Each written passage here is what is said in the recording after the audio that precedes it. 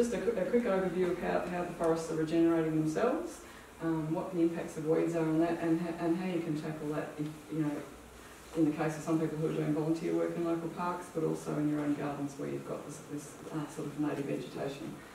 Um, so just a quick one about me. I'm a plant ecologist, um, so I'm a Kalorama resident, um, um, very local. I work for the Victorian Government in the Fauna Research Institute, so my work's on, on um, a lot of my work is on how plants and forests um, uh, respond to disturbance, mostly bushfires, but um, obviously windstorms and other form of disturbance.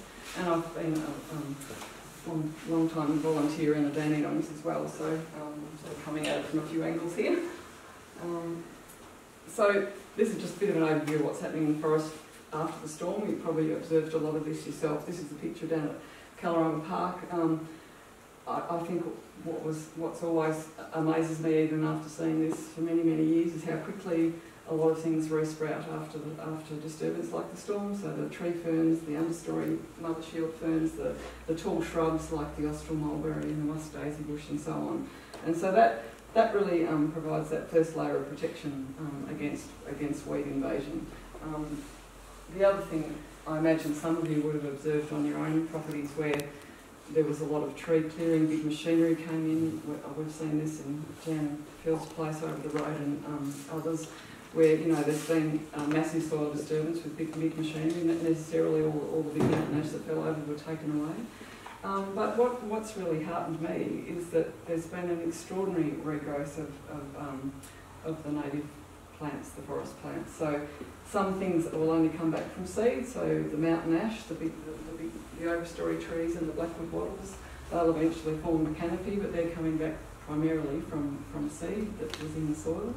Um, but there's been a lot of other native things that have come up either from, from seed or, or resprouted. So they're now covering covering the ground. Of course, there's weeds in amongst it, but but it's that um, it's it's making it's I suppose helping that that along where you're tipping the balance towards the native things becoming dominant and out competing the the weedy, the weedy stuffs rather than having to go and pull the weeds yourself. It's it's it's I guess being a bit strategic about which ones to tackle.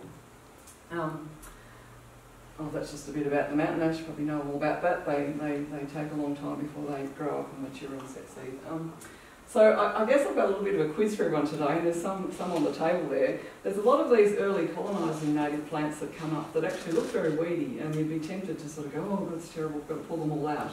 But um, in actual fact, they provide they, they, they serve a good purpose. They provide some cover initially. They, they come up quickly.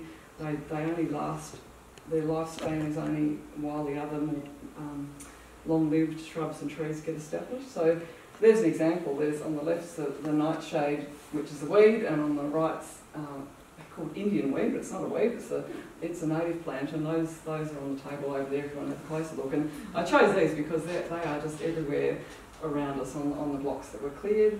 Um, and the, the, this Indian weed now is starting to, to just sort of die back now because a lot of the other more um, long-lived uh, native shrubs and trees are, are, getting quite big and quite established. So um, you can save yourself a lot of bother by not pulling out the native things that look a bit weedy if you know what they are. Um, Excuse me a minute, just oh, that sorry. nightshade, does that have little berries yes. on it? Yes. Oh, I just pulled the whole root. Oh no, that's no, no, certainly pull, certainly, uh, certainly pull that one out. That's the weedy one, the black oh, one. okay. Yeah, yeah. This was just a bit of contrast because they're growing all okay. together, and you know, yeah. at, at first you sort of look across and think, oh look, there's all these weeds. Yeah. And some, you know, half of them are probably the nightshade, which yes, definitely out. Okay.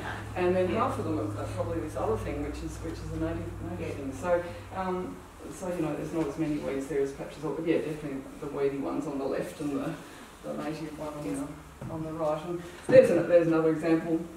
This inkweed shrub has come up, you know, come into disturbed areas where we hadn't seen it before, but but the, you know, the native kangaroo apple also is, is, is sort of coming up and providing um, that initial sort of shelter. Yeah, so, and there's other examples, and I've got a couple on the table there of the sort of um, native herbaceous things that grow, you know, bidgie widgie and um, what else have I got over there? Hound's tongue. Oh, the hound's tongue, which looks very weedy, you know, like it's kind of scratchy and looks a bit, it looks like it could be something introduced, but you know, but it's not, and, and, and so they're, they're sort of covering the ground and forming, uh, you know, sort of protecting the soil and, and, and stopping other weeds coming in, which is good. Um, so that's a bit about that. But um, so, I mean, fairly obvious to you all, when, we, when you lose the trees, we get more sunlight, and with all the soil disturbance, this provides a really good, really good conditions for weeds to thrive. Um, they either can come in from outside, you know, by birds dropping berries or, or winged seeds, you know, like the sycamores blowing in or daisy plants, things like that coming in on the wind. Or, there's existing um, plants that just really, you know, flourish because of the great conditions, or there might be some um, some weed seeds in the soil that are being suppressed by all the other other vegetation that's now been removed. So um, that's you know pretty, pretty straightforward. But um, I just wanted to use Kalorama Park as an example because we're all, all pretty familiar with it, I, I guess. Um, the Friends Friends Group's got a got a project to um, to do some interpretive signage and really um, focus on May Moon um, track as, as a nature trail. So that really to look at how the forest recovers after the storm and to help that along and provide the opportunity to, for people to record those changes over time. And um, I think some of the things we've learnt there, or some of the things I've certainly observed, you know, could, could perhaps help you in your own own properties when you, if you've got um, native bushland that you want to um, want to sort of um, uh, you know tackle the waste in.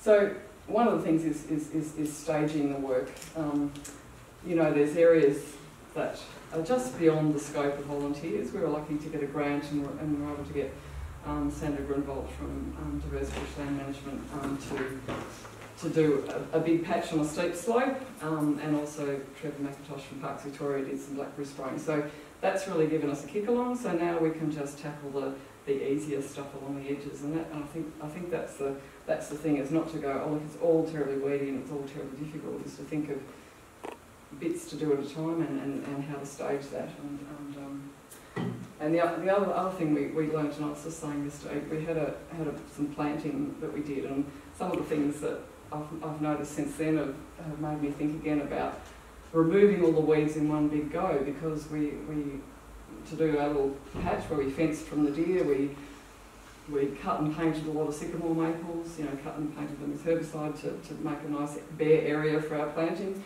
And of course some other weeds came into that spot. So I think the, the lesson there was to sort of, you know, do it in patches, um, like do it gradually, and also pick, and this is sort of a separate issue, but pick certain plants that are not, not delicious for deer, and, um, and that are quite tough. And those tough plants can, you know, that, that can survive and, and thrive, they can start to shade out the weeds, and then we can establish the other, other native plants. So I suppose that, that might be, might be um, something you could think about on your own properties if you're actually doing replanting, that um, um, is to, yeah, remove everything once. So I guess that's just sort of a summary of what, what, what, what that is.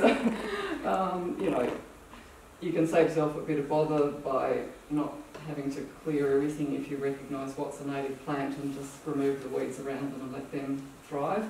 And then prioritise, there's, there's so many weeds, but a lot of weeds are not, are not going to be terribly problematic in the long run you really want to look at the plants that are that are um, long-lived, like woody woody things, essentially things that are you know, annual things. They can look terrible for the for the short term, but other things will shade them out. And some things really only grow along the edge.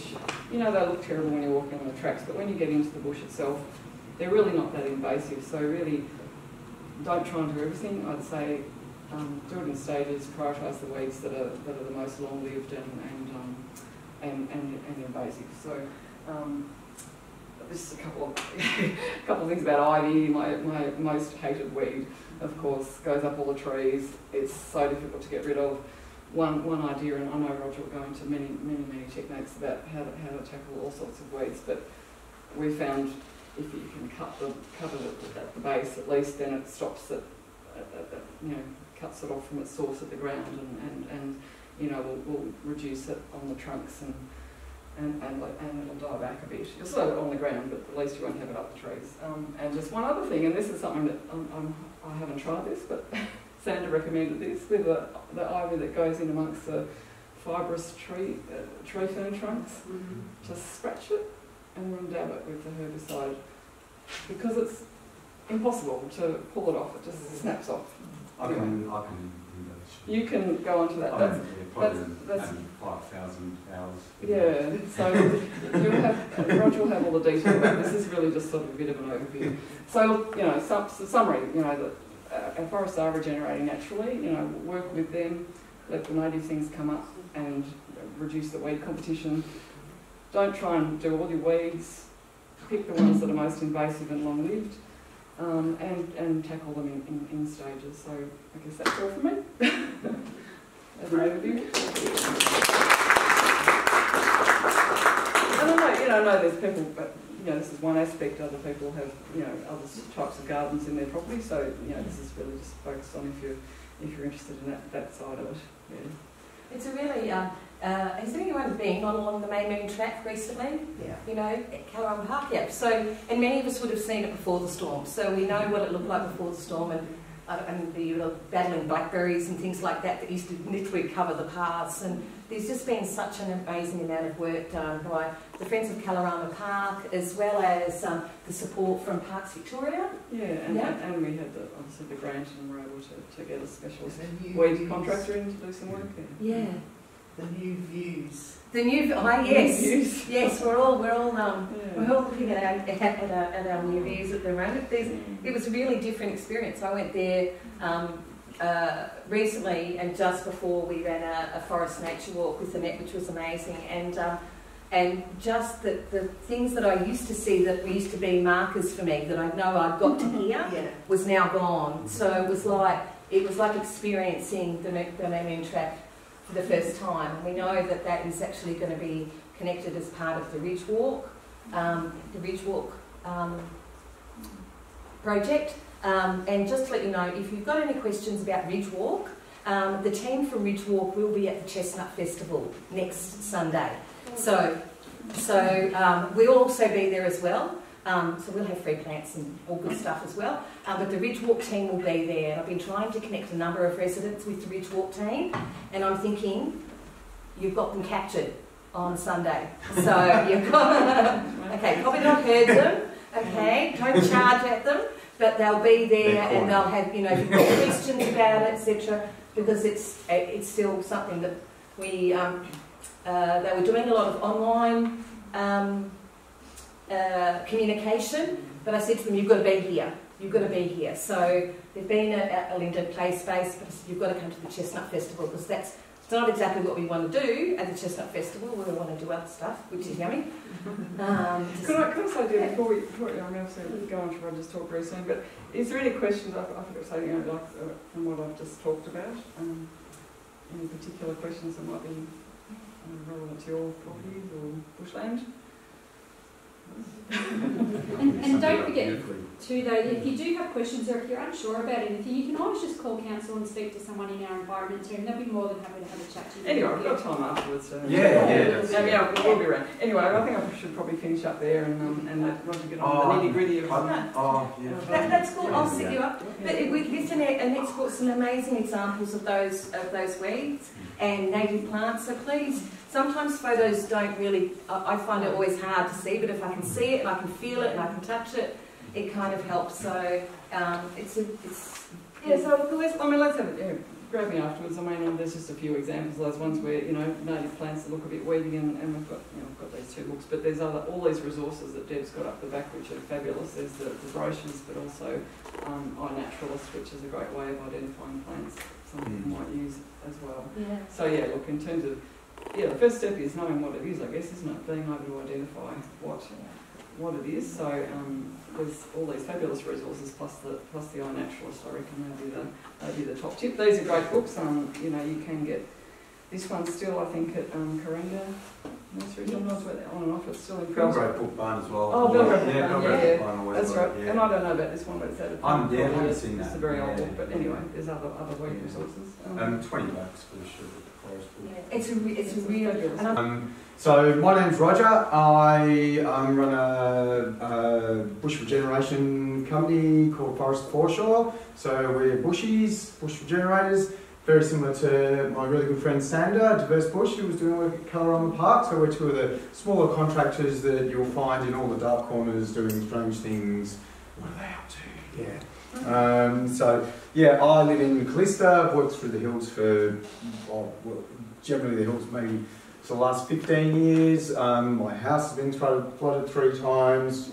Had three mountain ash fall on the property. Um, I feel your pain. I know what it's like. It's a pain. But I mean, Kalorama, Kalorama also got really sort of hit extremely hard. We do do a lot of work in the Kalorama area as well, and a lot of the other pockets further afield that also, you know, there's little spots where, um, for some reason, the wind, like, like Monbulk off David Hill Road behind this high school, just got absolutely annihilated in that storm. So, yeah, so I just thought I'd, um, I can embellish a little bit on what um, Annette was saying. I'll please give me a buzzer because I can talk the ears off anybody. Um, uh, I'll quickly show you this. There's a few bits of information here that you might find handy. I've brought some tools along. What I, what I really would like to show you today is what can be done with a really basic set of tools. Um, so sometimes when we're in our yards, and my yard's the same, I've got sycamores, ivy. I only take people down a certain part of the garden. Look at all the great work I've done. Just keep pushing them that way until you show them the ivy. Yeah. Um, so we're all we're all doing it. We're all doing it. I'm the plumber with the toilet that doesn't work. You know,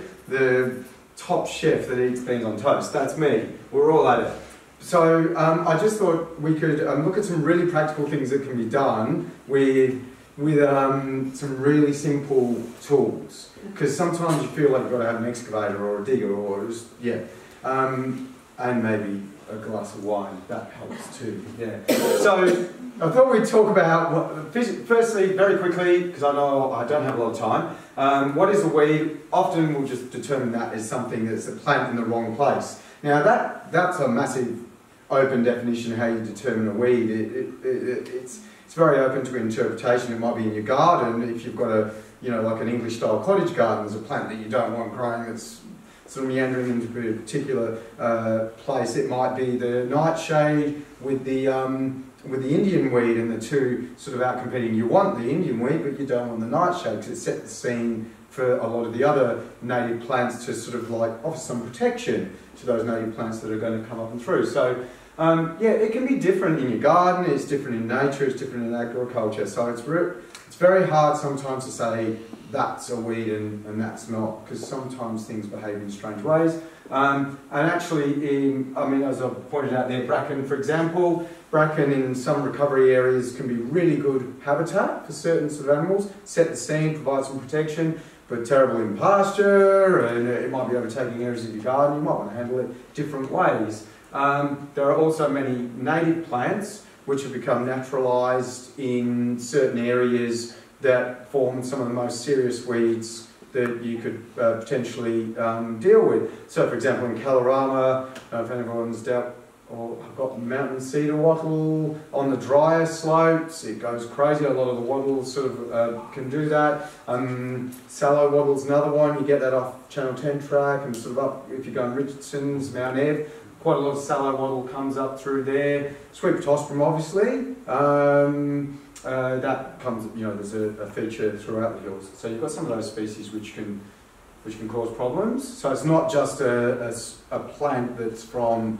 South Africa, although there's plenty of South African plants that are big problems here, and there are plenty of our plants that are a big problem in South Africa. so we, we did do a trade with them, yeah, yeah.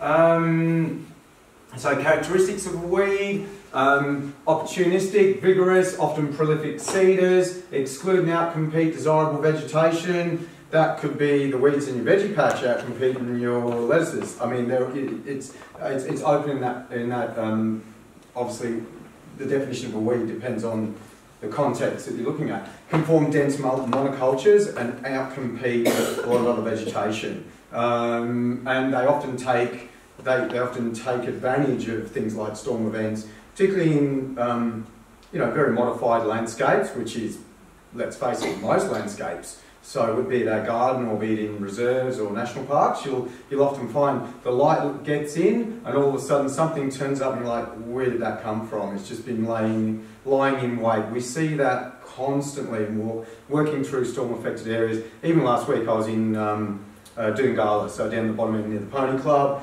literally it was like an obstacle course. I don't know how many step, I should have had the step counter on, that's for sure. Lost about three kilos, but there's weeds there with the light that you just where did that come from? Um, and that brought one up with inkweed, which is, has exploded in certain areas, um, in areas where we haven't seen maybe the odd straggler, but it's taking obviously advantage of that situation.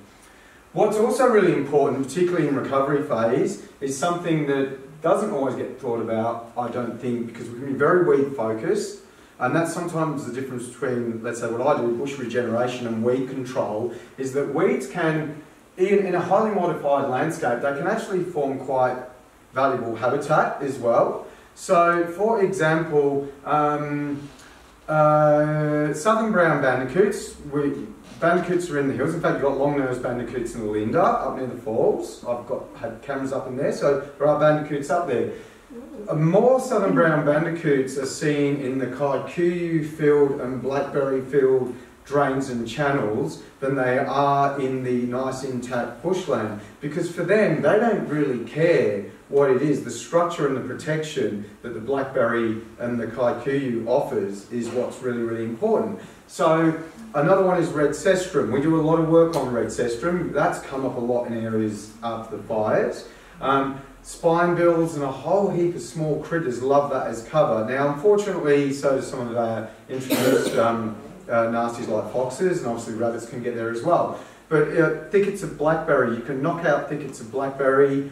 I don't know how many times I've been working on blackberry flushed out, um, possums out of their drays, fairy wrens out of their nests, um, and, and so like um, sometimes when we're in our gardens and it's looking chaotic, think, okay, well, what was there? There was some structure, there was some really nice prickly currant bush down there, or maybe you had um, an introduced shrub that was off, you'd always see particular birds in, a honey eater of some species, and that's gone, and something else has got going, and all of a sudden that's fruiting, like a kangaroo apple, that's fruiting, and all of a sudden you're seeing other little birds buzzing in there, even though it's bugging you and it's in the way and its branches are collapsing. But sometimes the form of the vegetation can be as important, and um, a lot of native critters do need that. Particularly, we're given we're dealing with a very modified landscape. So it's something we often think about when we're doing our work in the bush, and something it's worth particularly. We're recovering in our gardens, but sometimes so are the native animals as well.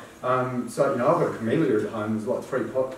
It's like an apartment building, you know. And I've got another um, introduced uke, uh, Queensland brush box, and I'll, I'll, see sugar gliders in it, and uh, yeah, and I won't go into my weeds, but anyway. Um, not everything's like that, but it's just a, it's just a good thing to think about, yeah, because um, you know we we change the place, all these animals move in, we change the place again, all the animals going, can you guys just make your mind up? You know, what do you want?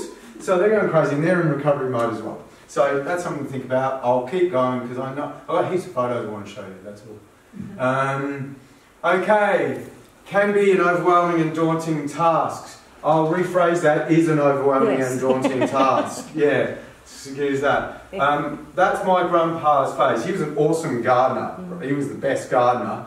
A little bit and often. Um, work from the good areas out. Get a win. So if you've got a whole garden and you're going, oh my God, what am I going to do with this? You're probably not going to get it all done at that period of time. Just find a patch, size of the table. You've got something there you love. Plant something you like. Get involved in that section. Just look after that bit. Get your confidence back. That's really, really important. So find areas you can you can actually get some confidence and, and re-engage. I did that the other day in my garden. I was pulling out ivy and Italian arums, which is another little uh, weed, it's been driving me nuts. I've had 30 mother shield ferns that I've propagated off other ferns in my garden. I just went in the garden and did it. I, I totally lost it in my garden. I'm like, never have any time to do mine. I'm always out doing other stuff. I put 30, I went inside and went, this is great. And I had a glass of wine and then had another glass of wine. I better stop, yeah. But it was really good to just re-engage in the garden. And that's really important because it, it's too much. We've all got bush, we've all got blocks. We've got half an acre in the Dandenongs. It's brutal, it's unforgiving. Yeah, and we all know that. So find those little pockets you can get some wins. Um, eradication of weeds in many instances is almost, I mean, you can get wins with them, but look to management rather than eradication. And often with weeds, one of the things that I'll think about, we might be working on a particular pocket, but we need to keep the pressure off that area in the long term. So I might have an area here with like inkweed, that we're controlling here. And I can see that the tutsin, which is another weed that's over there, is, is flowering and is about to go bonkers. And I've just created this lovely bare area, there's ferns and other stuff there. What could I do with the tutsin? Because I, I haven't got the time, because we, we don't have the time, do we? None of us really have enough. I mean, we'd love to have the time, but we've got to, we've got kids, we've got life, we've got jobs, we've got guys clean houses, paint, whatever it is to do. We've all got stuff to do as well. So if you got an unlimited time, it's easy. You can do anything you want. Um, but keep the pressure off that. I might just try and make sure that that tutsin doesn't seed.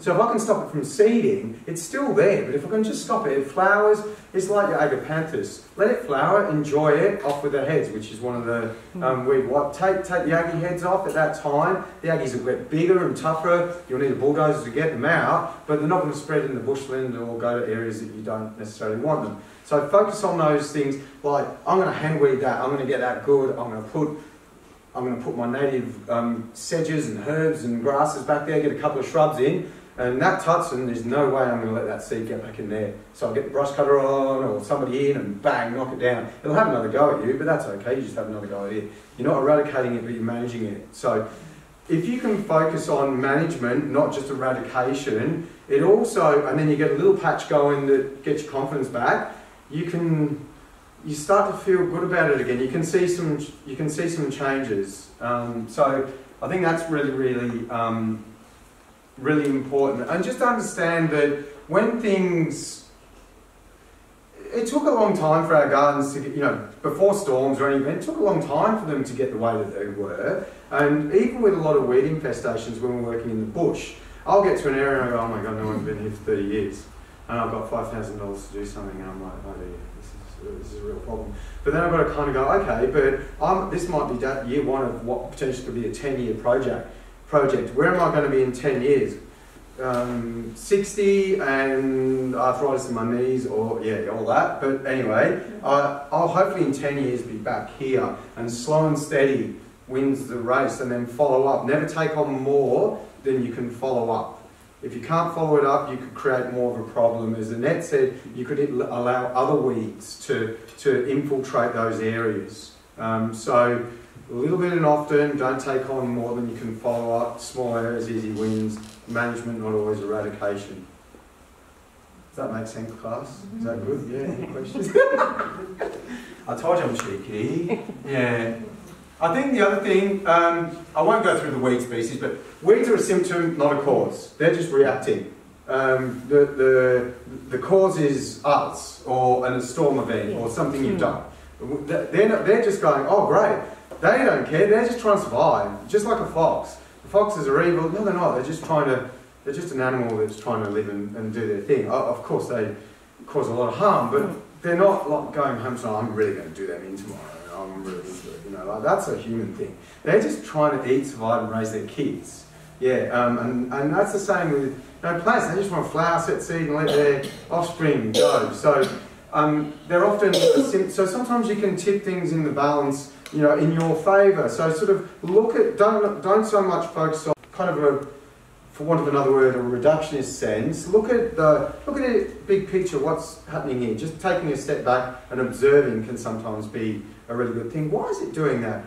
I didn't realise my grey water was shooting down there. Hang on a second, what's going on there? Or, you know, there could be a reason why something is coming up in a certain spot. There usually is. Um, we see it with stormwater runoff all the time. Road, channel, um, creeping buttercup, boom. It's like, how are you going to get rid of that?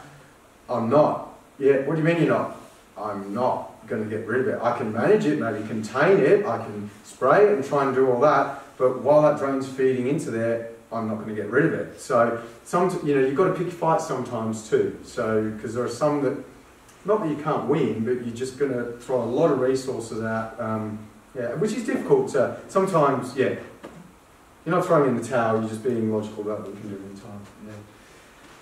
Sorry, I know I'm talking a lot. Tell me when to shut up, please. Yeah, here we go. Exotic grasses, the most difficult, often overlooked. Nothing, nothing in this world compares to exotic grasses. Might not be something that people often look at in their gardens, but um, often in the bush, some of the most time consuming, resource intensive, um, landscape altering plants on the uh, uh, plants on the planet are, are grasses. They're very difficult. So um, if you see new, if you see a new grass, if you think that one hasn't come up before, it's worth like maybe digging a bit out, trying to get a little bit of a, asking a few questions about what it is, because some some grasses can go berserk really really quickly.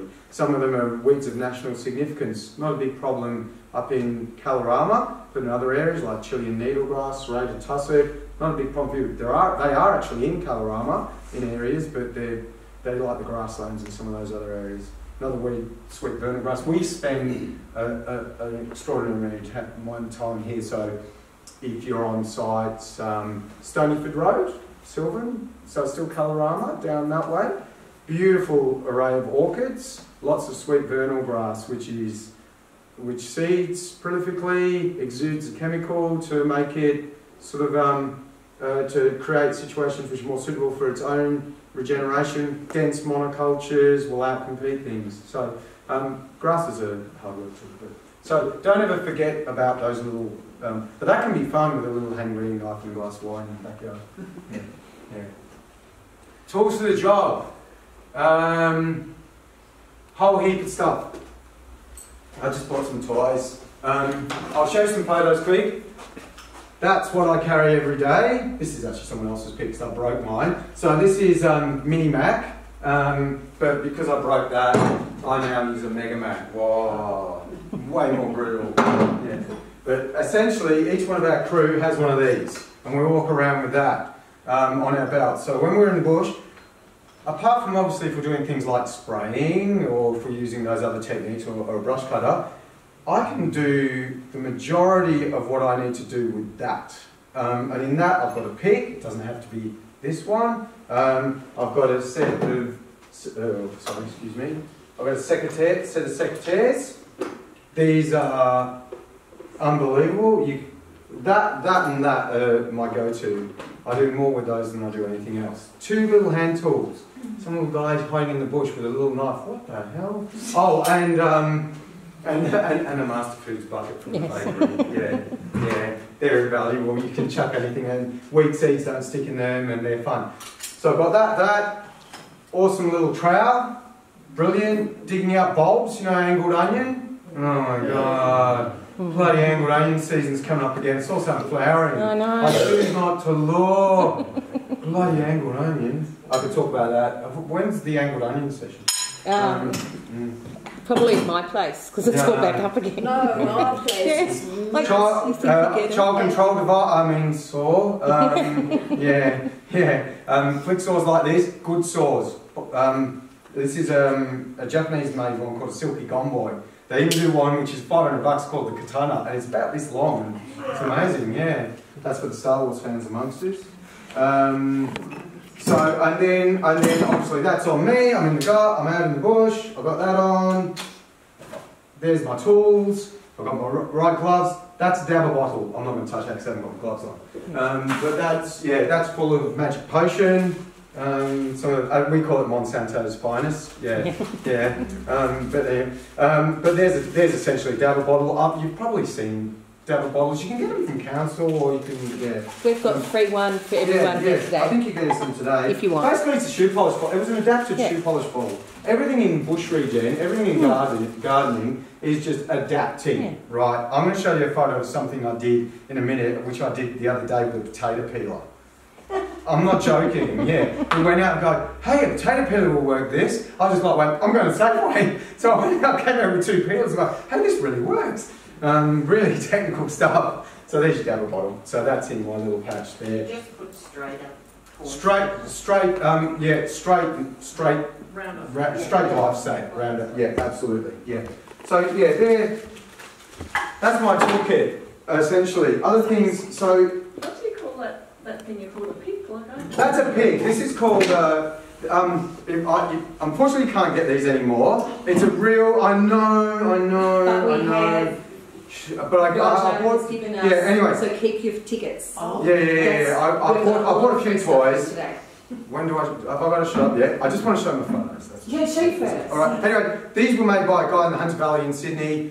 Brilliant guy. Um, he retired because he just had enough, and I, I, I just couldn't compete with imports. Um, he designed them, started to take the design overseas. Um, I was put onto these by Vicky Boyle, who was Mobile um, Southern Dandenongs Landcare Group many years ago. Many years ago, I've been using these for like maybe 15 years now. They normally come with a uh, blue handle attached, bright orange handle, but he sold his business. The minimum he was allowed to order was 200 grand's worth of gear. I called him. He said, I've got a few heads left in the shed from the early days when I was doing prototypes. I go, give me 20, because we all use them. We've had them for years, and they are the best. Camping, everything, you know, trench around your tent, whatever. They're just brilliant. Again, controlling children. No. I've got my working with children. and that's Mega Mac, which is bigger um, and really really kicks out weeds, Mega Mac. So I got quite fond of Mega Mac. So um, yeah, but any pick, any pick really, all I'll say is, is this, buy good stuff. Yeah. Yeah. Don't buy crap, because you'll hate it. You'll never use it. You'll go snap with your secateurs. Just like get the video on Yeah, so you'll go snap with the sec- secateurs, they'll cross over and you go, I'm giving up. You- You'll hate it. Good pair of secateurs, and I've got a list of places where you should go shopping. You know, just buy Felcos. They're the best. Had those 15 years. I use them for everything. Literally everything. I just, if, if I haven't got my hand weeding knife and I'm trying to off, I'm digging stuff out with them. I I've just, had a pair for 40 years. how amazing are they? Yeah, and you every spare part. You can get everything. Every spare part. Gomboy Saw. Why do I buy that? 'Cause it's metal handle, doesn't snap there, metal blade, metal, bang, replaceable, get new blades, easy, easy to get. These guys made in a Sydney foundry. Um, been getting their tools. One thing that I've been really enjoying is um, this little guy. Yeah. This guy's awesome because you can reach down. Yeah. um, but um, yeah, this is awesome. Is that, or I kind of call it my Bruce Lee. Has anyone seen Bruce Lee's Enter the Dragon? He Yes. one of these. Anyway, but this is really good for like scratching out little annual weeds. Uh, we use these a lot, and I've been using this a lot on a weed, a, weed that doesn't get talked about a lot, probably on a time of day, called neat feather moss, which is a moss which is an extremely problematic moss. And we've been using these to get in and amongst vegetation. Bloody brilliant in Veg Patch too. Again from the Sydney foundry that makes these. Yeah. Okay. Um, you can have, uh, if you need this PDF, it's just a ba- really basic PDF with me with a cup of tea this morning. Um, I've got a, there's information like on some suppliers. So I, I, maybe I shouldn't be promoting. I'm allowed. I'm, That's okay. That's I mean, okay, the thing is, yeah. it's, it's no use telling, it's no use sharing no really use going to, people there's no use going. I'll go here or go there or go there. This is where you go for your stuff. So if you want chemical or certain things, go to EMU, it's on Monmouth Road. Um, Road near the Bayswater Hotel, Arbormaster or the Red Shed is a mower shop. They sell the Gone stuff. Um, you go to Bunnings and buy them, 119 bucks. You go there and buy them, 79 bucks. Um, um, the Stihl shops, you know, like Alpine Mowers in uh, in Monbulk, Adam at Alpine Mowers, classic mowers and chainsaws. Um, obviously, they stock a range of uh, stuff. Even if you're using a brush cutter, buy the most expensive, best quality, thickest line you can. You know, like just just go for the good stuff. It'll cost you more. It'll cost you less in the long run. Um, um, this mob here, Forestry Tools, it's an online store. These guys are awesome. Um, they've got a separate section on bush regeneration tools, um, and that's where I that's where I get the Gomboy um, saws. But they do sell these also at Arbormaster. Um, and that's where I get um, these tools as well, which are little little trowels and, and hand tools, and they do a fork as well. Um, these guys are awesome. These are re- these guys are really really good, and their price is pretty good too. Yeah, well, we're actually, um, just to give you a little bit of an update, we're, we're um, in conversation with Forestry Tools to get some product donated. Yeah, Um, um, so we'll use it for our lending a hand and then donate them to residents moving on from there. We're also working with Felco to get some um, secateurs and that donated and Fiskars for a whole range of other products as well. So some of them will just be gifted on to residents, others will be used in our lending a hand you know, events so that people, and then eventually they'll be gifted to you guys, to the community. So, Cordless drill. If you've got if you've got a cordless drill, brilliant, really good for treating woody weeds. I'll show you a couple of pictures. Don't expect you to be able to go away and go home and yeah. You're not going to see Scotty from what's that show? Backyard Blitz, not Backyard Blitz. What's the block? The yeah, Block. yeah. Not going to see him using it the way I use it, but anyway. Um, chainsaws. I bought this. This is a battery one. A lot of the battery stuff has, um, you know, a lot of people, oh, battery stuff's not powerful enough. is da, da, da, da." They Yeah, my God, man, Mm. this thing is an absolute weapon. It is absolutely brilliant. It's lightweight, it's compact, it's noise, it's way less noisy. Um, there's no fumes. Mm. Um, you're obviously not going to get through a mountain ash with this thing, but if you're pruning, yeah, I know, I know. Why not? Yeah, why not just kick them out ash over and why? Sorry? The storm did a pretty good Yeah, it did a pretty good job of that, true, yeah. Yeah, you need someone with a giant bone. But some of the electric stuff that's coming out Yeah, now is good. great. I'm really sorry to say, buy the most expensive Mm. stuff. Yeah, the uh, cheap battery stuff, you'll just be like, oh, don't buy, don't, I mean, not that Aldi don't sometimes have good stuff, but if you see electric chainsaw, cool, I'll buy 10 of them, just in case. Don't, just buy a Husqvarna or a Stihl. I really like the Huskies at the moment. They're doing this is awesome. This thing, I'll take this you do work in Northern Western Port, I'll take it on an island. This particular battery, we'll be going all day with this, doing woody weeds, pruning, brilliant for the garden. So some of the battery stuff's come a long way, and they're lighter, they're more nimble, they're just much nicer to use. Sometimes, you, you know, you got heavy lifting to do, you still got to use a petrol saw. But um, these are becoming really, really good. Do you know what else I've seen? One other little tool which I haven't got here. Check out Stihl. I don't know if anyone's seen their little chainsaw pruners.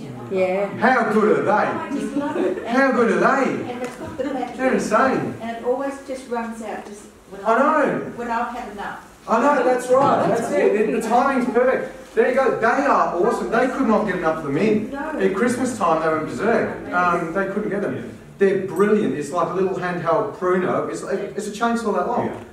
Unbelievable. Like, so if you're, um, even if you're struggling with a handsaw and you're doing like cutting paint or something, oh, they're just great. And they've got a little flick up guard. That's cool. Anyway, enough of that. Do you want to see some pictures and then I'll shut up? Yes. Cool.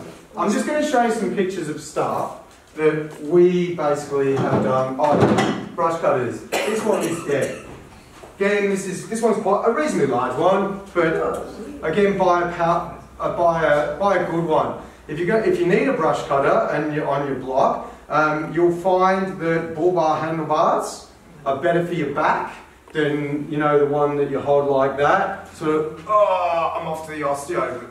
That's it, you know. And then, yeah, so so the bull bar's good, and you can put a nice harness on. They're they're more fun. This one's a you know this one's fairly grunty. Um, Stihl FS94, uh, if you want a good, uh, or like the Husqvarna equivalent. So lightweight, they are still petrol. Um, there are, I don't know how people have, if people have had experience with the battery stuff yet with brush cutters.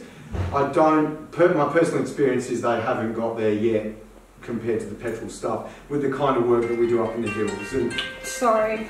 no, that's, that's all right. That's why I'll show some pictures. Um, but yeah, so the, um, the, the two-stroke petrol stuff is still kind of the way to go there, but it's catching up really, really fast. So that might be totally different. I reckon two years' time that'll be yeah where it's at. But we can't go all day on a on a battery one. So and we do use them pretty pretty hard and pretty aggressive. They are an amazing tool. A good brush cutter will yeah, it's well worth it. Um, okay, well, how do I get out of here? Let's. Um, so yeah, if anyone wants this, P, uh, just it's just a quick PDF, and that, that way you've got those details. Um, just good. just escape. Yeah. But you know, behind, um, if you go to Linda and you go there, you've On got Range Road. Yeah, and then it continues down the range track. Again. We found uh, some, yeah, um, this the only location we found it in the hills. What do they look like? What Um, forget me nots. Yeah. How do you recognise them from the? Leaf shape's different, flower arrangement's slightly different, and it's not something, generally speaking, what we see is forget-me-nots is the common forget-me-not. Yeah, What we'll do is we'll um, I'll have a look on my, my naturalist and let's get some photos. I of just them thought I'd for show you. you, yeah, I've got 44 photos, and I'll do it really quick. Basically, these are photos that things have been done by us grubbing out, hand weeding, and predominantly using this gear here, and also using things like um, drill and fill. So drilling holes into trees and injecting with herbicide. Um, so um, there are, there's some stars here, like, so, um, there's, there's Gabe, that's a heap of nightshade, and a whole heap of other nasties were there. So you can see Gabe, well you can't really see Gabe, and now you can see Gabe. Oh. Yeah, yeah, yeah, yeah. What did you use? What did we use? Brute force. No, I just, we just pulled them out. Yeah, just pulled them out. Yeah, Wow. yeah, absolutely. And then did you burn them or? No, no, no. What, what, what's really important when you're in the hills, particularly because of our deep soils, if you pull a weed out, any weeds that we're dealing with, elevate. Don't leave it on the ground. Because um, you leave a bit of holly on the ground and then you get a bit of a rain, branch comes down, falls on it, and you come back 12 months later, you've now got 12 holly. Not where you had one. They will sucker. I've seen just some of the most crazy things. I mean, we all know what's going to survive nuclear war? Agapanthus and cockroaches. You can hang agapanthus up Yeah. there, upside down in a tree, and you come back, and they're still flowering upside down. Those things are. Oh my god. Anyway, so so, so yeah, um, elevate, get them off the ground, get them off the soil. So That's what does elevate look like? I mean, what, what are you saying? Bag it or? No, no, often we'll create, like, you you might see some, like in your garden it's a bit different, you know, fill your green bin first, but if you've got bush areas or you've got a large section and you rip out a heap, let's say you rip out a heap of ivy that's in amongst some ferns or in one of the other garden beds, your green bin's full, what am I going to do with it? Um, uh, or you've got space, there might be a couple of logs or there might be some branches, you just get it off the ground. So you let air get underneath it, you leave that on the ground, you, it's a wet winter, things go crazy, you come back, what, it's reshot. Sycamore maple, same thing. Cut and paint, leave it on the ground. How many times have I gone back? And then there's little sucker roots going all the way along. So rule of thumb is elevate everything. Um, get it off the ground wherever you can. Um, even little flat weeds like, if anyone knows like patsy or ribwort, sort of stuff, broadleaf weed with the yellow flower, you'd sort of know those. I've, I've had days where I've gone, oh, they'll be right, I'll dry it on that section there, and I've come back and I've gone, God, who did this dodgy work? Yeah, and realised that the rain had set in and washed down a particular location, and they've just got their fine tap roots back into it. So elevation is critical. Um, okay, this is actually a section of spraying in the Secret Garden, top of Perrins Creek. Um, so this is beautiful. That's aluminium plant. It's a variegated leaf. You might, yeah, it's a bugger of a thing. Um, that we did spray. You can hand weed. I've been hand weeding that out of my garden. But this is um, that was using knapsacks. So people familiar, I haven't got a knapsack with me today, but yeah, knapsack sprayers. So th- this was a few weeks later. Um, so you can see the sort of the ferns are there. Very selective use of herbicide. Certain types of herbicides try and do um, do the job. I think it's important to factor here. Everyone, obviously, with herbicides, um, you um, when I mean, like from my perspective, doing conservation work, there, are often ethical compromises and compromise you have to make to do what you do. Nobody likes herbicides. Nobody wants to use herbicides. They're bloody horrible. They're made by big nasty companies, but they're a, they're a part of our tool set. Sometimes we have to use them. I might have to go to a site and I've got ten thousand dollars and I'm looking at going, how do I maximise that? How do I turn every dollar into two? How can I use herbicide here to free me up to hand weed here.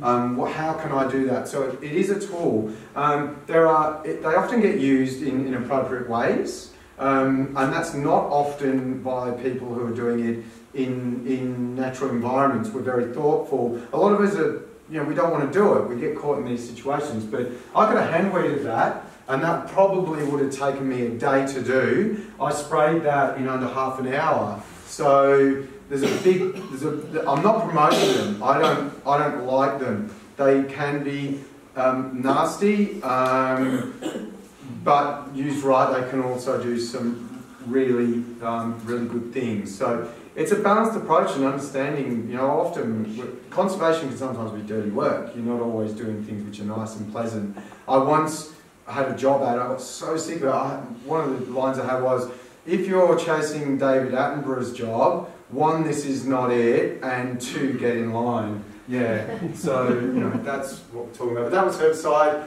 Um, here's brush cutter use. So um, Mount Morton Reserve, Belgrave South, lots of exotic grasses, lots of junk, going crazy. Oh my God, can't find the good stuff. I'm sure we know our plan ID. There we come back, we've found the poles, we've gone around the stuff that we still want to flower. that's where I'm trying to stop all that other stuff from flowering and setting seed. So now I was talking about don't let them seed. We'll go, okay, now I couldn't have hand weeded that with the budget I've got. Um, you couldn't have hand weeded that, I couldn't have hand weeded that at home with the time that we've got. So you can use some of these other tools like brush cutters to really good effect. Even your lawnmower, lawnmower's great, all those sort of things.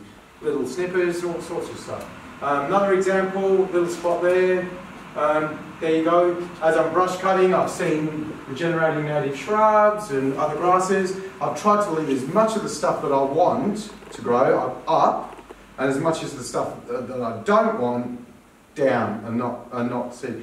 It's not it's not perfect, but again, nothing is. is it? We try and do the best we've got, best we can with what we've got at the time. So, um, weed burners, these are fun. Yeah, but shh, yeah, yeah. Um, that's my mate Jared, who works for me using a weed burner. This is actually in a Maroondah site. But if you look here, lots of native, these are all native sedges, bracken and ferns up the back. This is a, a native exotic grass called squirrel, ta- squirrel tail fescue, Vulpia bromoides. Pain in the bum. Got the weed burner on on that, and then it looks like that afterwards. And that held together really, really well. So this weed burner? weed burners are basically a flamethrower. flame. Yeah. Yeah. They're heaps of Yeah. fun. Yeah. Yeah.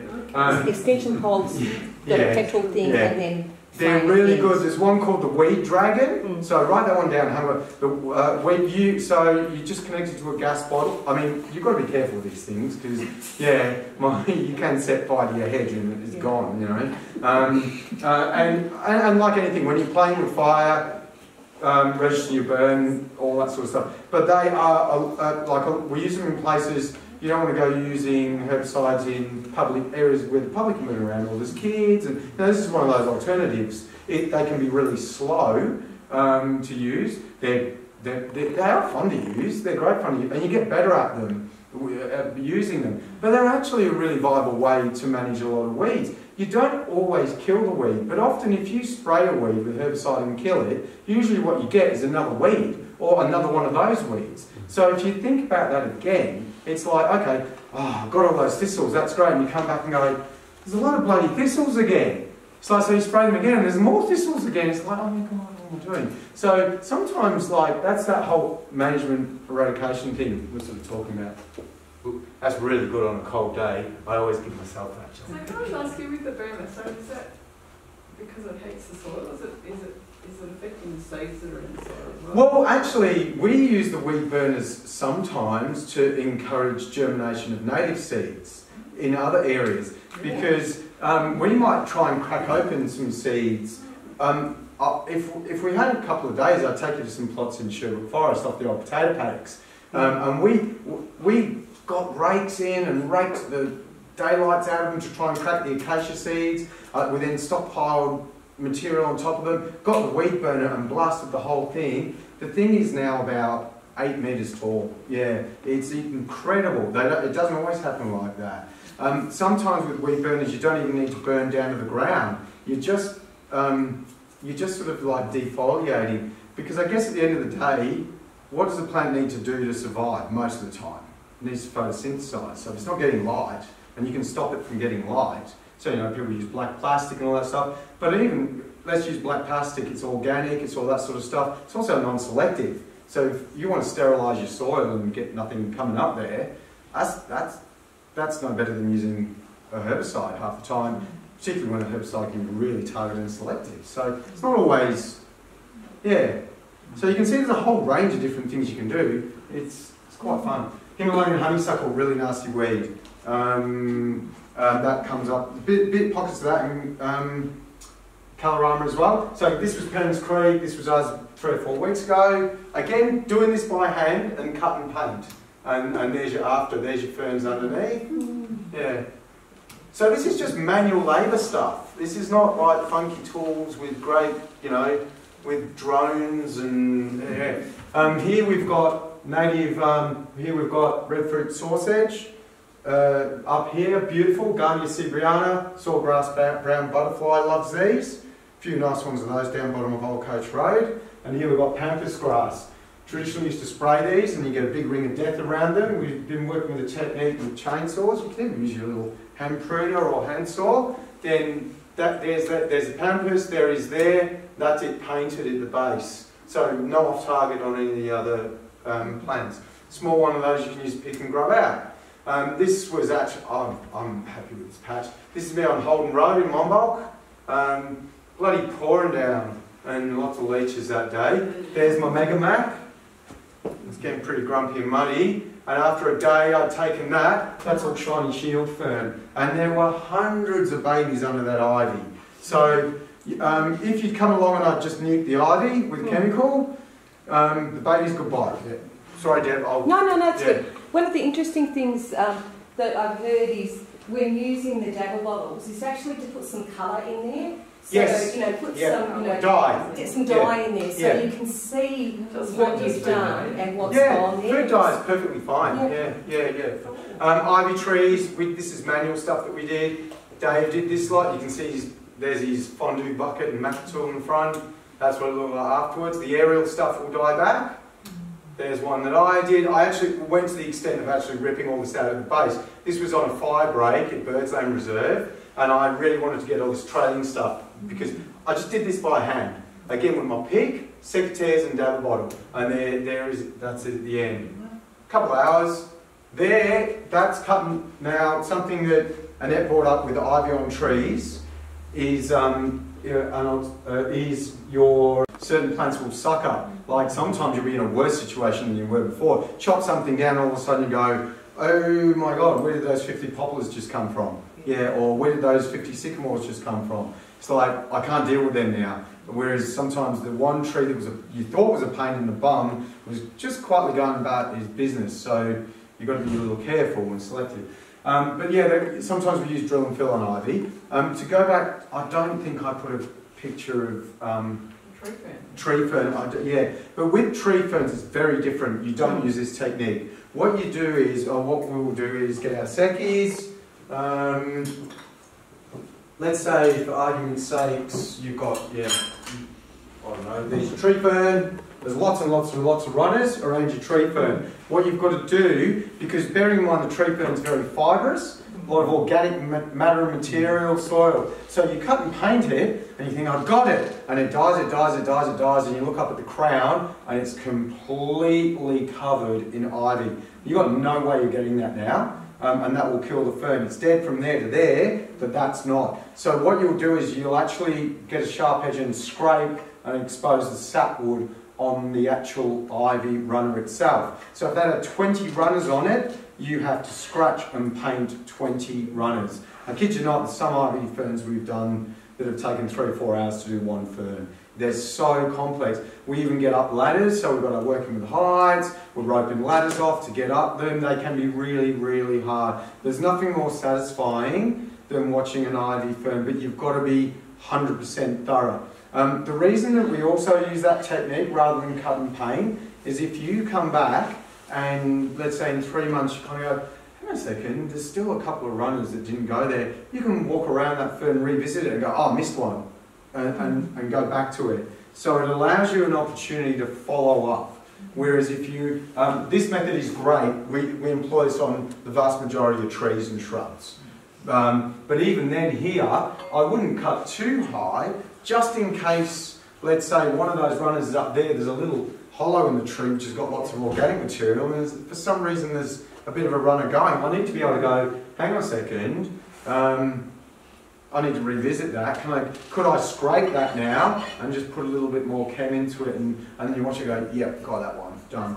So just like anything, it's always follow up. Um, and then that's often why, why I always say, once you're in, you're in, you're good. Once you're bought into it, it doesn't stop. Uh, people go, oh, well, you know, you get those big things going, oh, yeah, wallop the weeds and we're done and now you take care of stuff. I go, do you mow your lawn once a year? And is that it? As you sell the mower after that for the rest of your life? No, no, no. Every month I need to do it. Well, it's no different in the bush. So we're bush gardening, really. Yeah. Could you use a potato peeler? Sorry? Could you use a potato peeler to do that? Yeah, I'll show you some. You could. No, absolutely, you could use a potato peeler. Yeah, yeah, but you've got to get a good one. Yeah. You know those hand weeding knives? These are these are great because they're so sharp. Just scrape. Just Yeah. really, but you've got to be gentle. Yeah. Yeah, you can a potato. Alright. Mm, yeah, that's fine. I mean, sometimes we hand weed with butter knives. Like butter knives are great. You want to flick out little pain in the bum weeds. Yeah. It's brilliant. Garden rakes. you've got a lot of weeds that are a pain in the bum on the edge of your track, just get a rake in it or a little hoe and just chip them out. And yeah, they might not all, you might not get them all, but it's, yeah. It's, mixing it up is really important. So I'm, here I'm showing cut and paint. This is a young sycamore. This is a technique that we've been doing. If you cut and paint a sycamore, so that was a sycamore maples, pull them out by hand when they're small. When they get a bit bigger, drill and fill. Works. There's an awkward size when they're about a centimetre um, to maybe a little bit more than that before you can get a drill into them, where you can't pull them out because they're just so hard to pull out. But, but unless sometimes you're lucky, often you're not, cut and paint doesn't work because their tap roots are so deep. So you need, and the only reason it doesn't work is because you're trying to get chem into the sapwood here. Um, but it's not big enough surface area. So what I'll do, again, there's my sekis, I get my sekis, split so I can get more chem into the heartwood, and then I'll paint, and I'll give it a good drink with the dabble while I push it down and make sure there's some fluid. Similar way of doing it is like that. I've cut, that's been cut, oh, I haven't cut that, Dad did this one. That's been cut, it's a little bit bigger, got the drill, drilled a hole into it, and just put a little bit extra chem in. That's not coming back, neither is the other one. So you, you, we're trying to increase our success rate here. Sometimes with cut and paint it works. I reckon, I'd almost say it's 80-20 that it doesn't work, but it depends on, and it even depends on your soils. There's all sorts of reasons why, yeah. Um, potato peeler. Hadn't done this before. Does anyone know Bill Incoll? Bill, yeah, yeah, you know Bill, yeah. So Bill and I chatting away, worked together, worked with Bill for many years. I go, Bill, have you done the potato peeler thing? I was, I was, I was quizzing him because I've done it and I thought, oh, if he goes in and sees this and it's absolute crap work, what idiot's done this? Hope no one's paid for it. He goes, yes, it works. I'm like, oh, you beauty. yeah, well, I knew that, but anyway. Um, so I got into the bush with a potato peeler and I went, and, and so that's our, we call that the zucchini method, I think that's what we've named it. But basically what we're doing is the same as what we would do is drill and fill. We're allowing the tree to survive, but, you know, so it can die because the, the sapwood's still working. The sugars and the water's still going up and down. As it's doing that, it's taking the chemical with it. Um, best time to treat things like sycamore, autumn, they're drawing down into their root systems.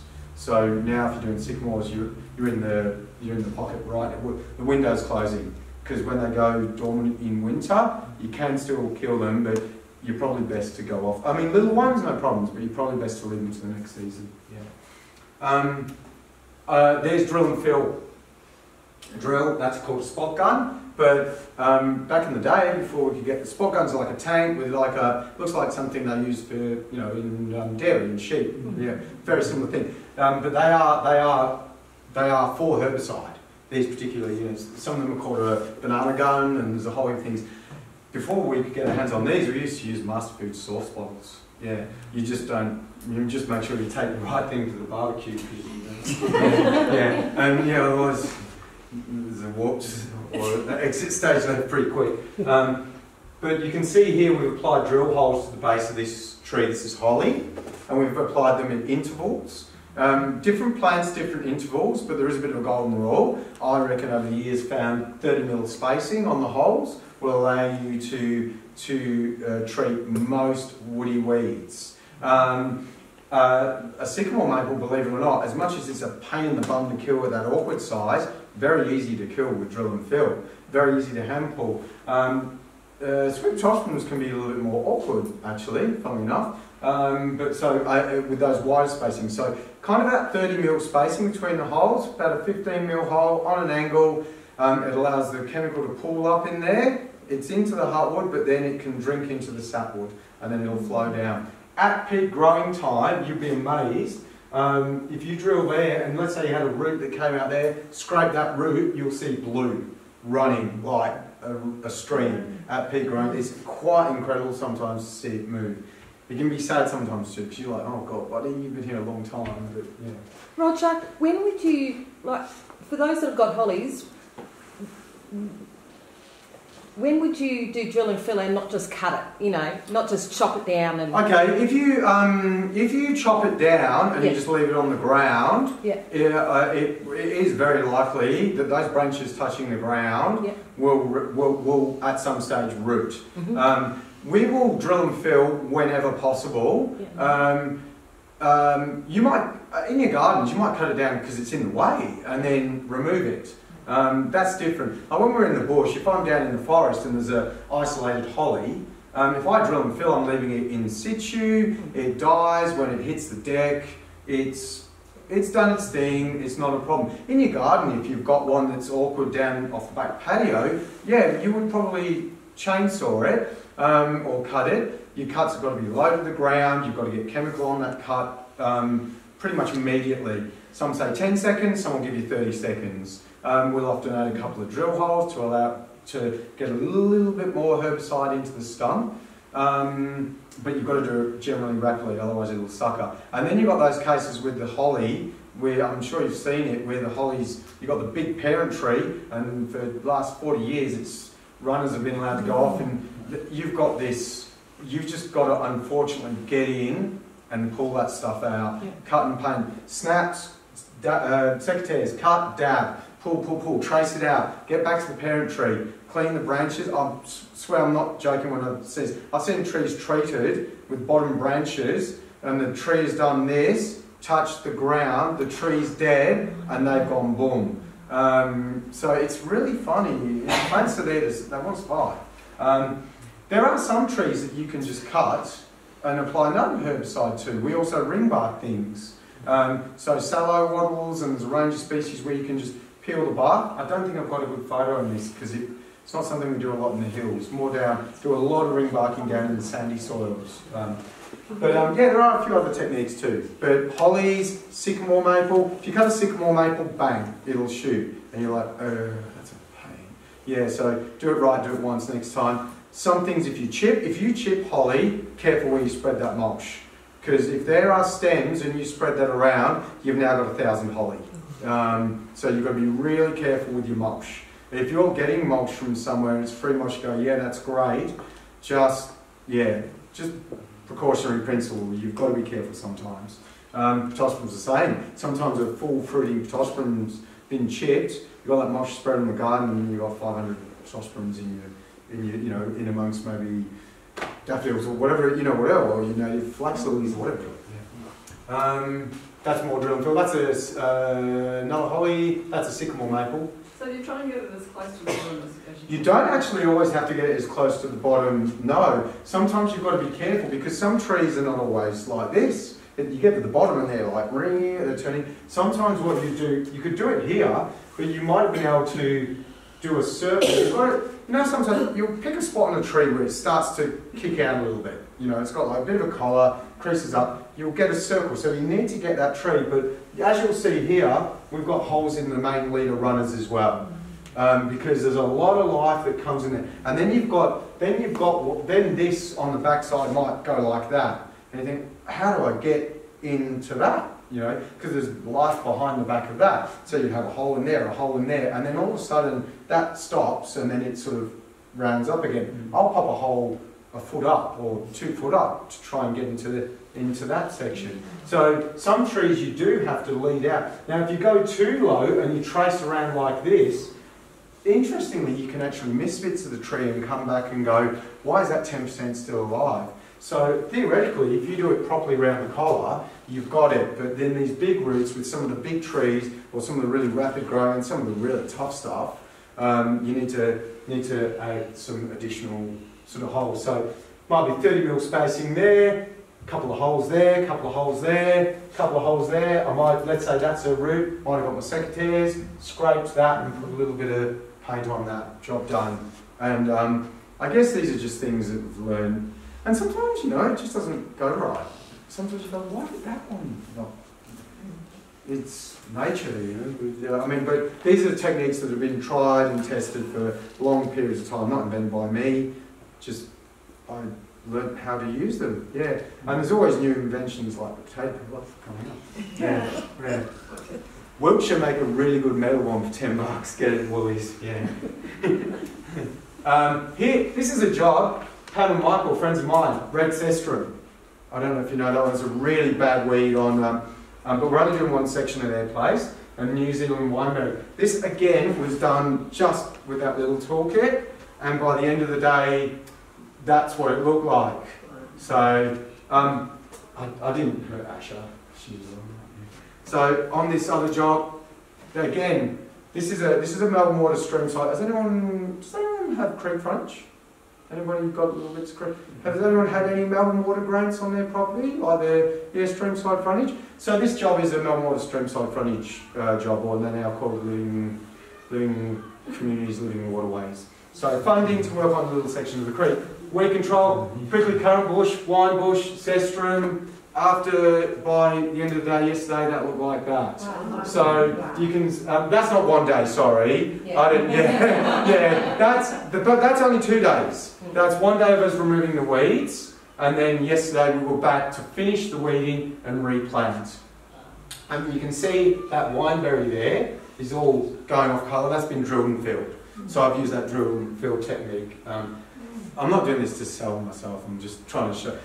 I'm just showing that again, the vast majority of his work has been done with what's on that table. Yeah.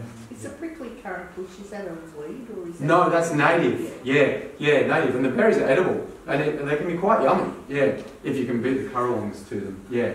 Sometimes they're a bit chalky, but sometimes they're sometimes they're beautiful actually. Yeah. No, prickly currant is really good. Awesome small bird habitat. Um, and it, they also make it, if you get like quite dead, uh, wallabies love them, they'll bonsai them in the forest. So sometimes we actually, when we were planting out here, found little babies and we put some extra guards around them because wallabies will target them.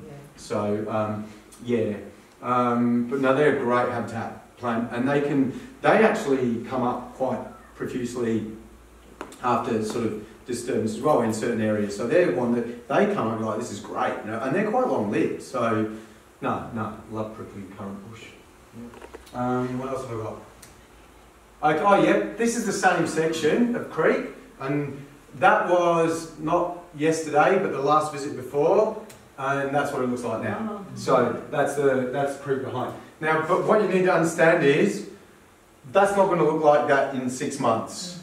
That's going to be full of New Zealand wineberry and red cestrum seedlings.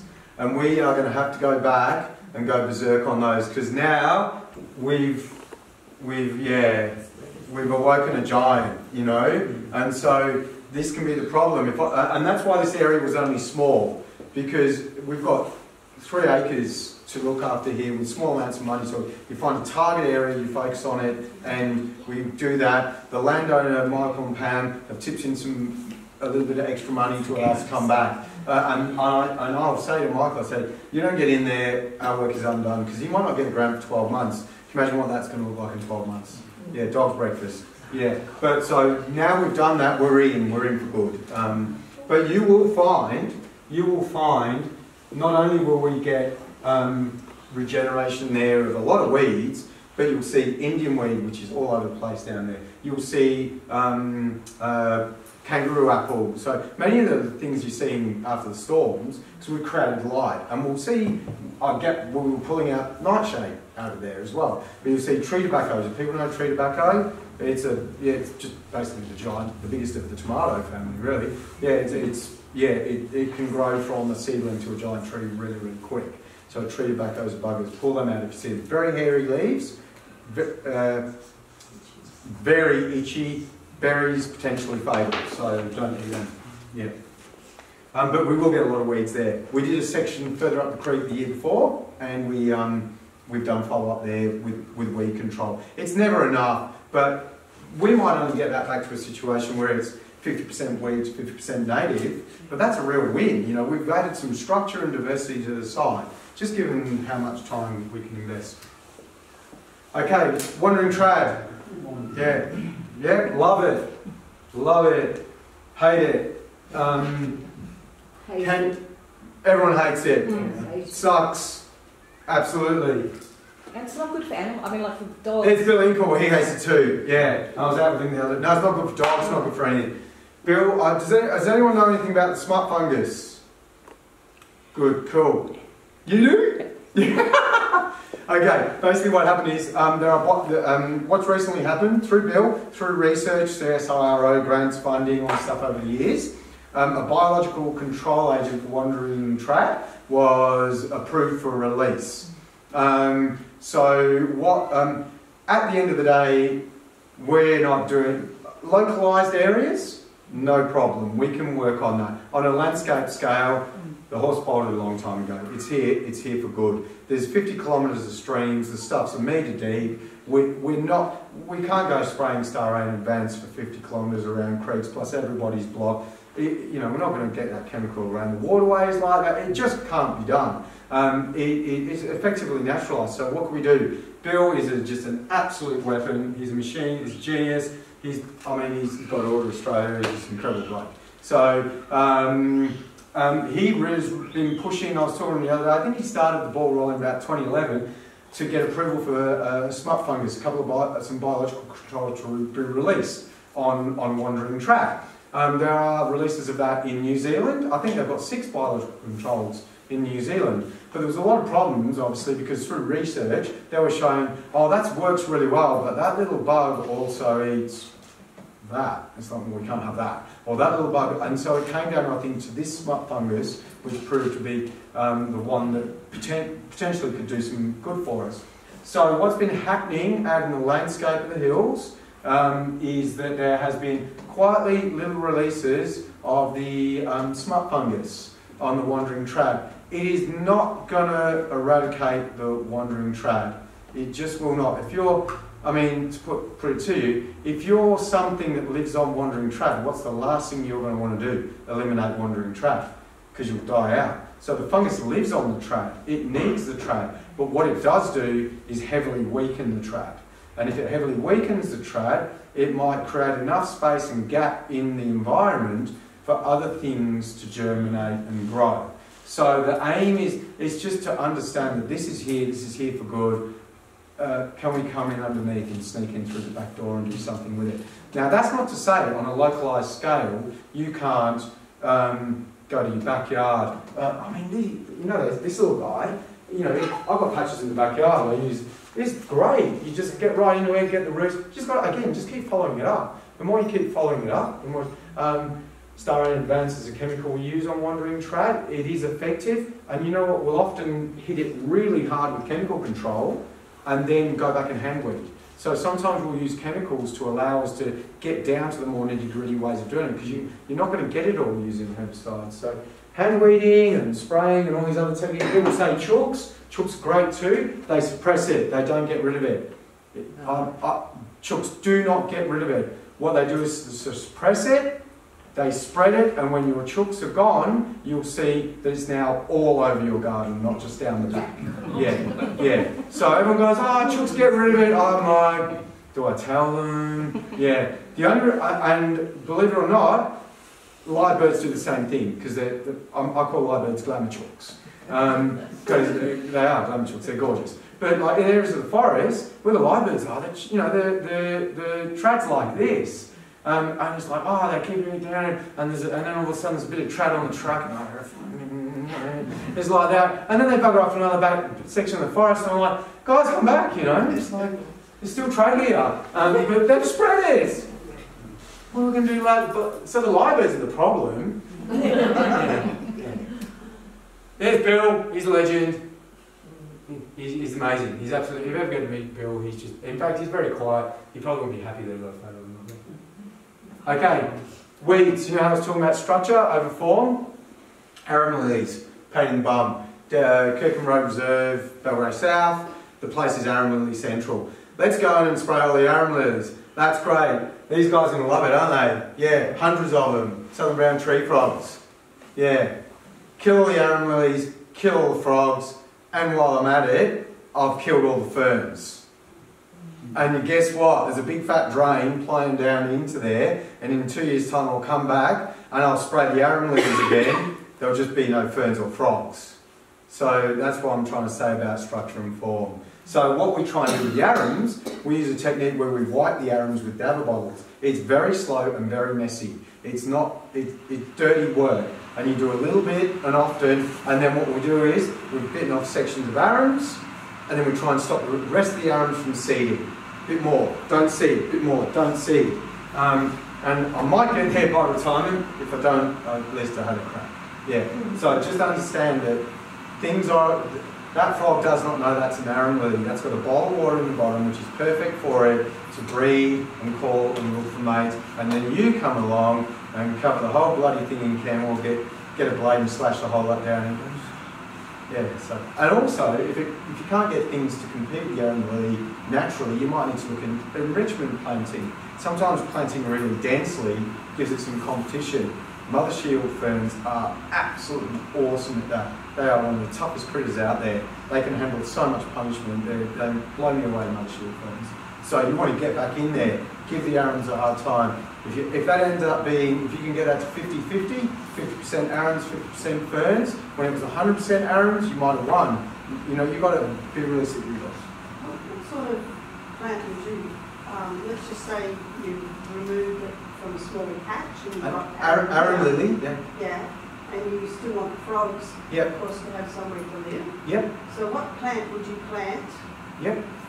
Would it be the ferns or would it be something else? Ferns would be um, often No, ferns are often really good, like, because arums are generally in boggy, wet areas. Mm. So ferns like um, fishbone fern, Blechnum nudum, they like that. But you could be planting um, like some of the sedges and rushes, um, the native sedges and rushes. The, the, they'll get down into the leaves and provide some cover and habitat for them. So, um, um, yeah, you know, um, tall sedge, tassel sedge, um, plants that will grow in wet damp areas. But fishbone fern's a good one because they'll get under that. They've got big drooping leaves and they'll they'll hide underneath. Even little ground covers like the forest hound's tongue and all that. We find frogs and skinks all the time in amongst that stuff.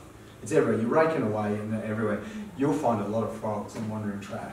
Um, but yeah, but that's they're just making use of what they've got. Yeah. They're, they're making yeah. So um, yeah, just look at that area and think, okay, that's a big strappy plant. How do I? Yeah, I'll wind up. I can jump a bit. Sorry. Oh. That's my mate Tom's Chook. He helps us sometimes. Oh. He, he, that's one of the donkeys in Belgrave South. He sometimes um, helps us with the ragwort. He's better. That's our friend um, Giddy the goat doing session with us. Will this play? I don't know. Are the goats good? I mean, they. You, I saw Watch them- this. She's ring barking it. Oh my goodness. Look at this. She's having a bit of ring bar, bit of a chew. Had enough of this. Bang, headbutts it. oh no! Oh no! She snaps it and she rips it out. Oh, shut Oh, up. Sorry. Sorry. I mean, yeah, there you go. So, um, I'm, I'm so sorry that I took so long. no, no, Roger, it's no, not at, not at that, not that way at all. Um, Yeah, but I yacked anyway. Kieran, did you I'm good go? at that. Yeah, I Go, wondered what goats are was- good. But what was the plant that it was destroying? Sorry? What was the plan? Red cestrum. You know how I showed you those big bushy areas? Yeah, yeah. She was down planting, but she got expelled when we went to put the plants in. Oh, okay. Yeah, because they were too, way too juicy. It's like this beautiful, beautiful, gorgeous salad. She's like, oh, this is the best. Like giddy go up top.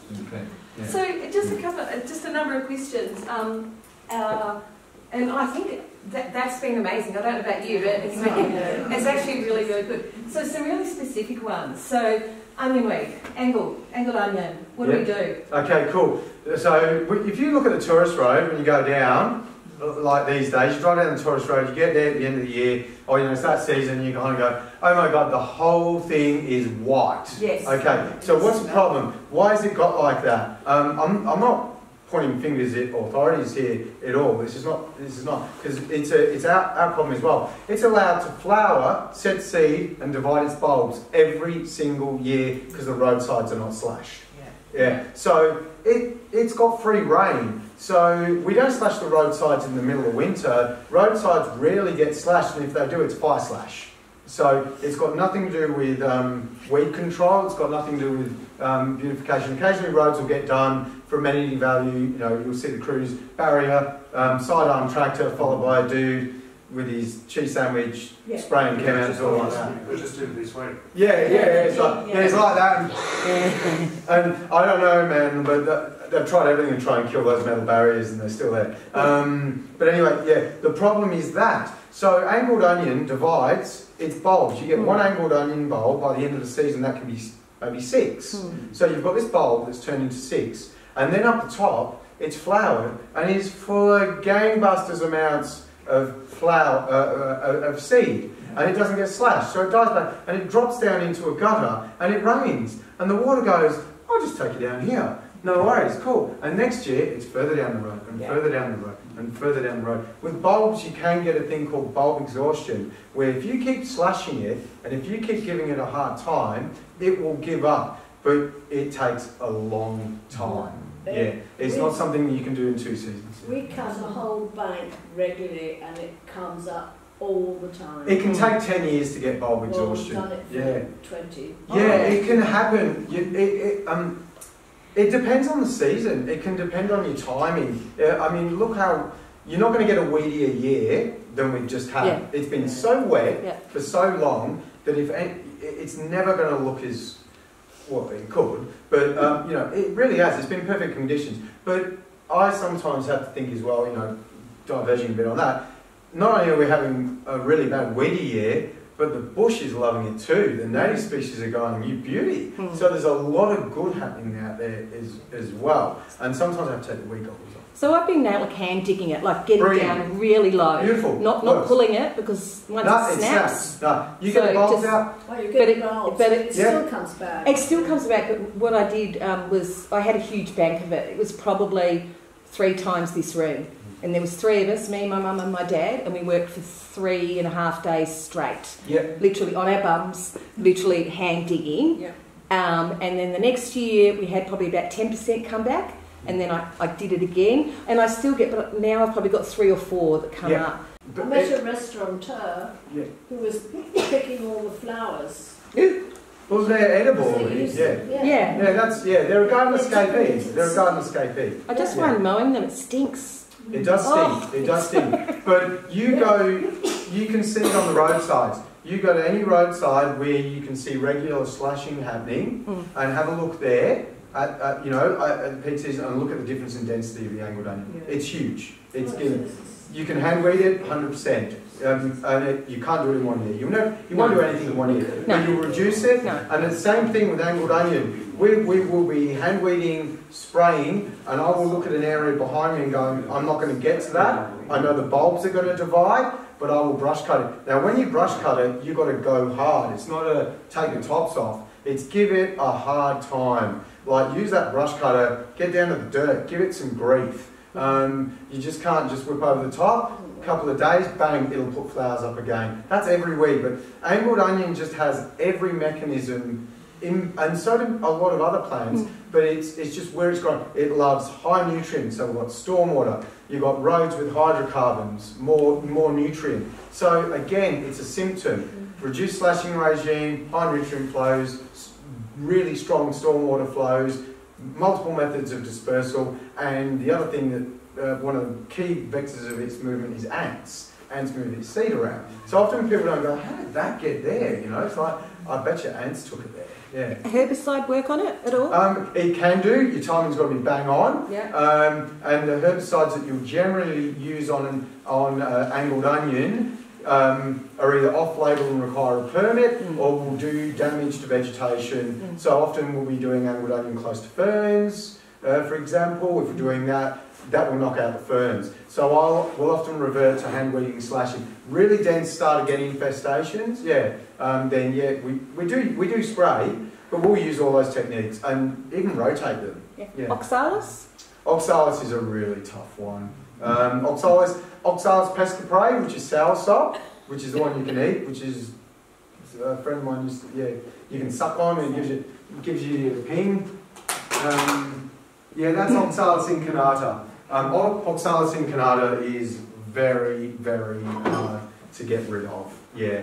Um, um, uh, again, Uh, the problem is you get those woody bulbs and then you get multiple bulbs off the, uh, and then you pull it out and they go shebang, and you're like, oh my god, what have we done? There's a lot, wild gladiolus is the same. If I had some wild gladiolus, you can pull the main gladiolus out hmm. and there'll be 200 bulbs that just explode. And you're like, what have I just done? You probably created worse problem. You don't mean to, of course. We do that.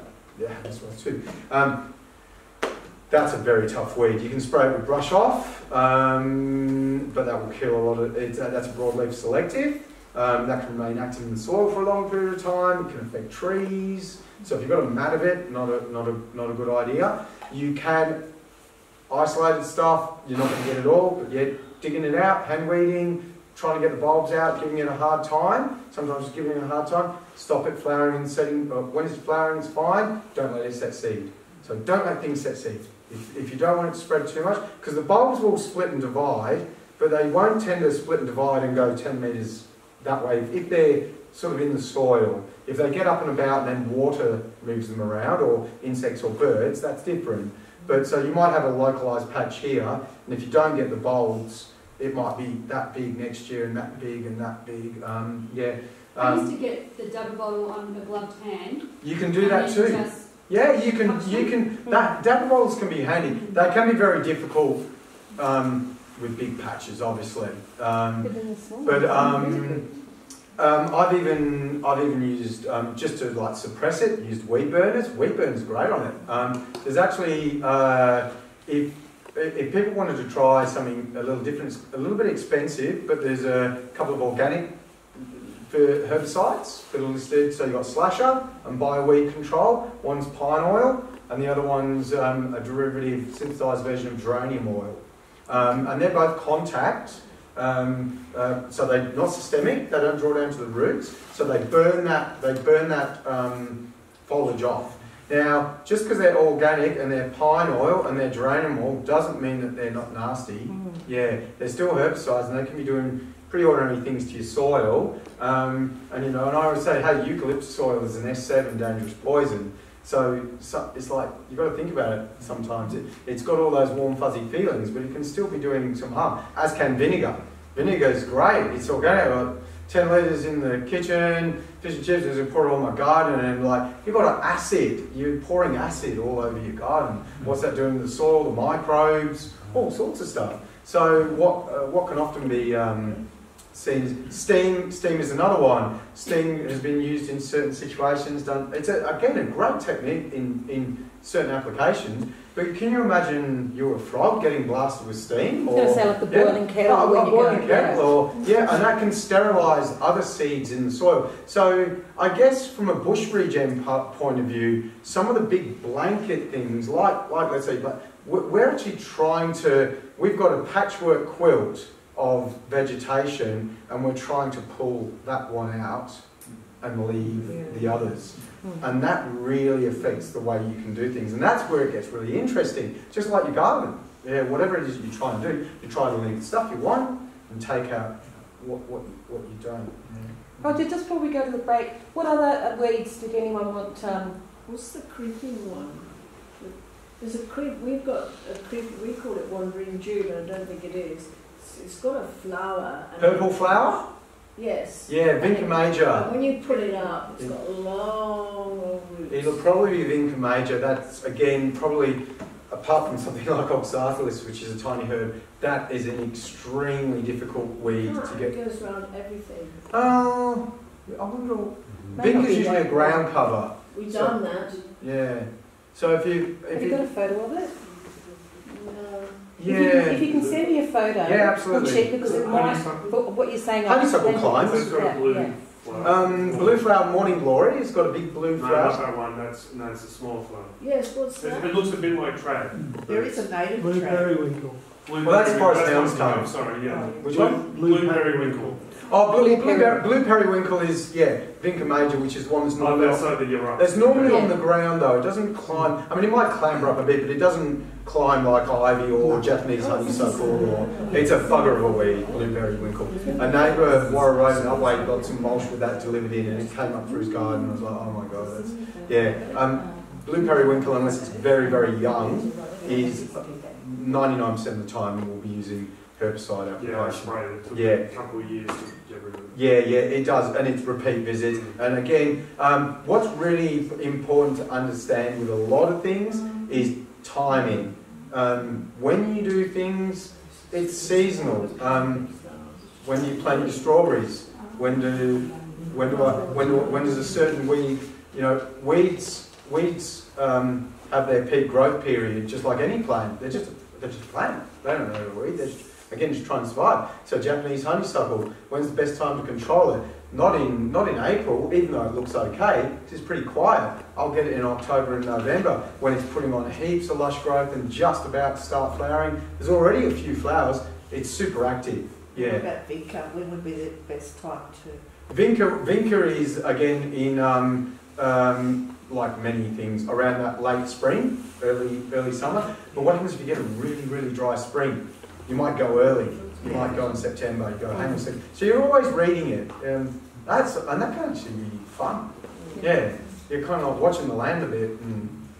getting I've got a bit- question for you. What about this terrible, this like Peruvian lily, which is like rhizome, like a, like a bulb, but it's got the rhizomes. those- Um, Peruvian lily, um, Alstroemeria aurea, is it? The- That's what. It's all on the right side. Big orange trumpet flower. Yeah. Oh, Yeah. And it's like we've dug out, the soil It's really hard. They go really deep. They go really, really deep. Um, they, you'll see them on the edges of areas, and you'll get isolated patches in good vegetation, but they don't tend to move in. It's a big problem. It's become a big problem for us on Sherwood Road in a couple of spots, and and um, It's more in garden beds, it? it is. It is in garden beds, but again, what we'll try and do, like the problem is when we grub it out, the rhizome will snap and then and then you go to dig it out, the rhizomes are super deep, and then you snap a bit and you leave it, and it will grow back. So we will often, where we where we know we can't control it, we'll be brush cutting it. We'll brush cut it hard and hard, and it'll come back year after year. But I know that I can't get that. Now I reckon if I sprayed that in most of my situations with let's say something like Brush-Off pulse, I'll get that, but I'll also kill every other thing I'm trying to protect in that area. So I put up with it because I know I've got a couple of other fights down the road. So I'll try and just stop it seeding and I'll try and grub it out and grub it out and grub it out and grub it out and do my hair and go. R- Rangers don't go grey too easy, so I'm lucky. But my hairline is receding, and so I'll keep it long. Um, but uh, you know, um, uh, but yeah. So you're saying just to start spread. Just don't let it spread. Don't let these things spread. Contain, handweed, grub out, give it a hard time.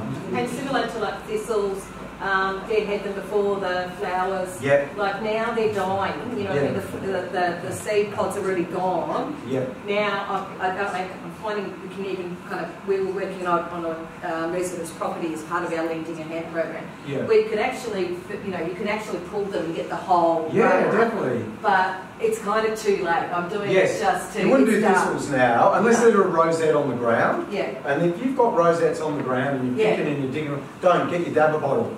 A Yeah. dab with a push in the crown of the fern rosette, boom, boom, boom. Can anyone remember the zero weed ones? yeah, Yeah, that's what you're yeah. doing.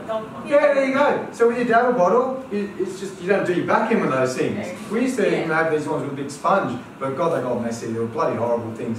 So if I'm in on a bank um, and there's like 50 thistle rosettes, I'm, I'm concentrating on something else. I, I'll be doing this, and I'm working on Himalayan honeysuckle or some other thing. And oh, there's a few thistles there, and I get distracted because I've got a short attention span, and I start dabbing stuff. And before I know it, I'm like over here. I'm like, where did I leave my pick? And I'm like back here, look at my pig, and I'm like. I'm like, Dave, have you seen my pick? No, oh, no. And it's So, thing. so you don't need to cut them, so just dab in the rosette. you can dab them into the rosette, yeah, yeah, absolutely. But again with thistles, and it's something that um, Annette brought up, they're colonisers. So they can be a pain and they're ugly and they're unsightly, but over time they'll drop down. Because they're, what they're doing is very similar to the fireweed and the Senecios. Um, sometimes I'll go to a paddock, a paddock with a patch of thistles has got more biodiversity than a paddock. Because, you know, I've seen, you'll see fairy wrens nesting in thistles. They don't notice the thistle. They're, they're not going to nest in the grass. They'll go to the thistle. You know, so um, I'm not trying to say don't get rid of the thistles, but you've got to kind of sometimes go. And they do look ugly, and then you can't get to your share. and There's a fuckload of thistles, and they're bloody sharp, and they hurt, and they get you. you um, if you get them low as well, if you pull don't get them low, um, yeah.